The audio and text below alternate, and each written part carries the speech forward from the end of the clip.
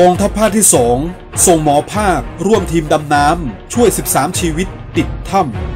ำถือเป็นปรากฏการณ์ครั้งสำคัญของการร่วมมือร่วมใจ ระดมสัมภาระกำลังของทุกภาคส่วนของคนไทยและต่างชาติ ต่อภารกิจการค้นหาและช่วยเหลือ 13 ชีวิต ทีมหมูป่าอะคาเดมี่ที่ติดถ้ำหลวงขุนน้ำนางนอนอำเภอแม่สายจังหวัดเชียงราย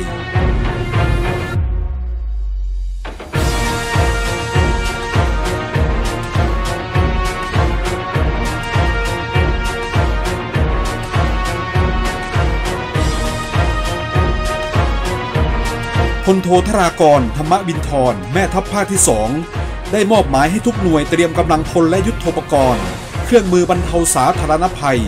อากาศยาน พร้อมสนับสนุนอย่างเต็มที่ ในขั้นต้นได้ส่งพันโทนายแพทย์ภาคโลหารชุน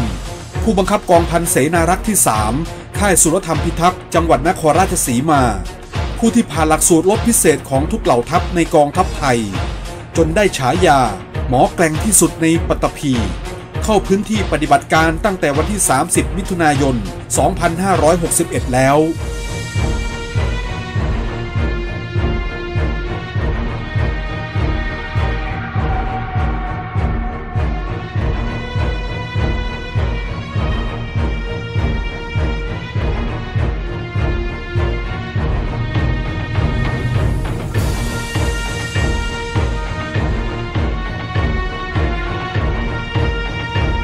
สำหรับภารกิจของหมอภาคก็คือ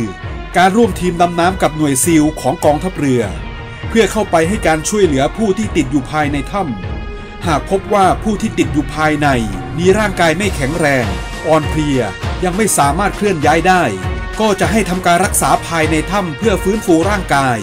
ก่อนที่จะนำเคลื่อนย้ายออกมาด้านนอกเพื่อทำการรักษาต่อไป